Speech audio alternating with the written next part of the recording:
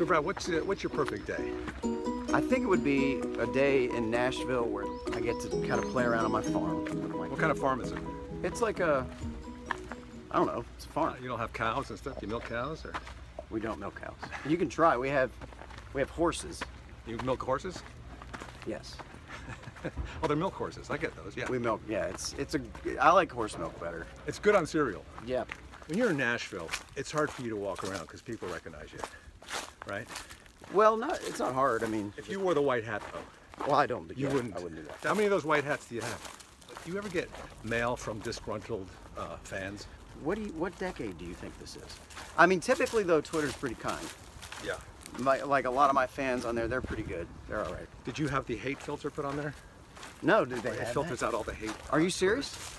Oh. That would be great. Yeah. Who did you play with, like say most recently, that really was uh, exciting for you? Uh, Mick Jagger, John Fogerty, both of them. Mick Jagger. Wow. Where did you play with him?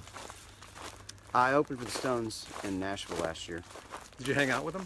Yeah, he's become a friend. I remember in our days of songwriting together at the house that we had, three, or, three days or so of that, um, just making him laugh.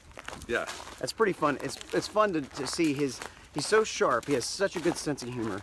And when you say something that makes somebody like that laugh, you feel, I mean, you It's can imagine. Yeah. it's oh man, yeah.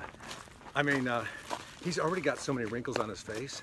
When he laughs, all the wrinkles must really close together. He, Yeah. he uses reverse Botox to get those. Do Yeah. you think when he comes to your house, he gets kind of envious and thinks this is the life that I always wanted? No. I don't think so at all.